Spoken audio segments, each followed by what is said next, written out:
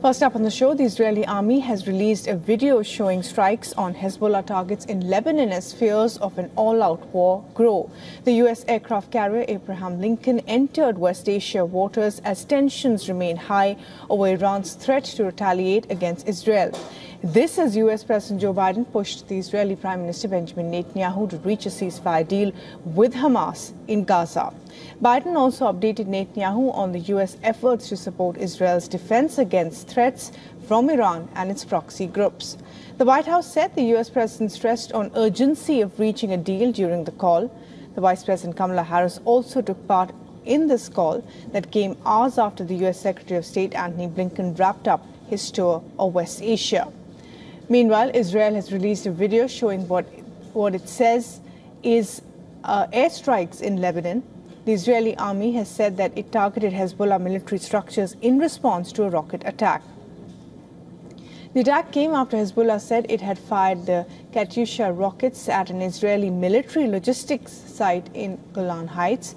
Uh, it also fired a swarm of drones on military posts in northern Israel, about 22 kilometers from the Lebanese border, in retaliation to earlier Israeli airstrikes in the Bekaa area.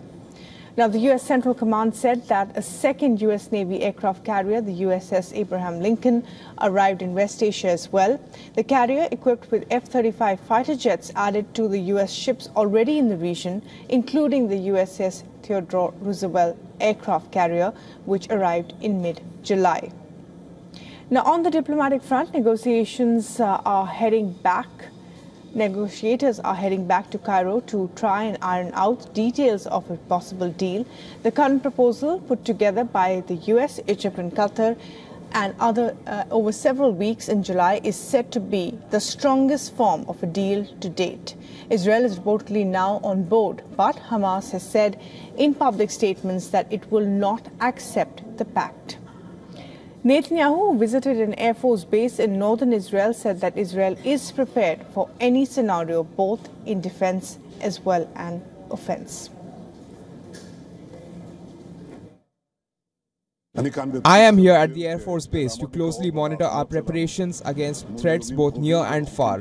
We are prepared for any scenario, both in defense and attack. Israeli Defense Minister Yoav Gallant traveled to Gaza to assess the military operations that resulted in what they, in what he says is the defeat of the Rafah Brigade and the destruction of over 150 tunnels. Meanwhile, Gazans are again on the run as they have fled the western area of Khan Yunis after an Israeli evacuation order once again.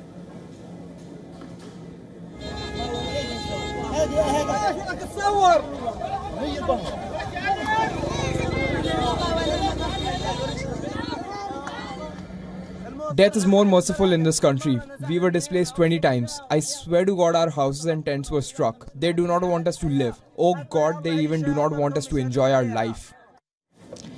Gaza Civil Emergency Service claimed that the Israeli military struck a school and a nearby house in Gaza City on Wednesday, killing at least three people and wounding 15. Palestinian health officials have claimed the Israeli airstrikes across Gaza have killed at least 50 Palestinians in the past 24 hours.